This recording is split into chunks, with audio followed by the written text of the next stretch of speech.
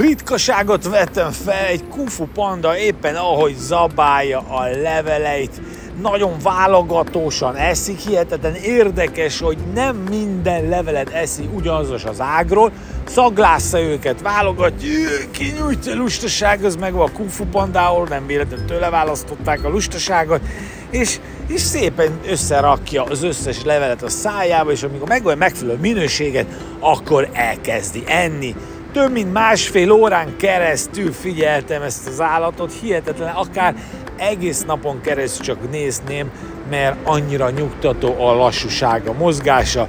Körülbelül három óra után most kell fel először, és elmegy inni. Hosszabb videót nem akartam felrakni, mert hát kinézze meg három órát. Kung Fu Panda Hongkongból.